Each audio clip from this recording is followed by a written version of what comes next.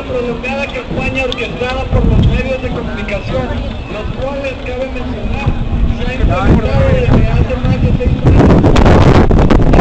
Por la posición del candidato anticomunista, el descubrimiento de actos de lesa humanidad durante el gobierno de Enrique Peña Nieto sucedieron en ascenso y el financiamiento ilegal que el candidato recibió por parte de las cúpulas empresariales del país.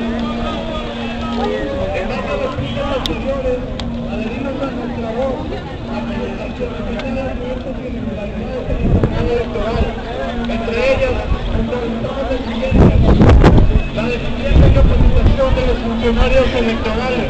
el acarreo, la compra y venta de sufragios, la coacción de votos, la compra de funcionarios, la intimidación de electores, funcionarios de casilla y representantes de partido,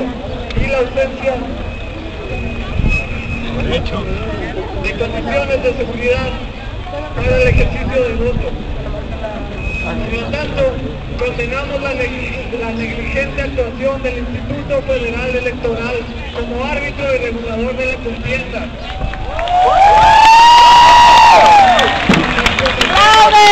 Reconocemos las prematuras declaraciones del presidente del Instituto Federal Electoral, Leonardo Valdés Urita,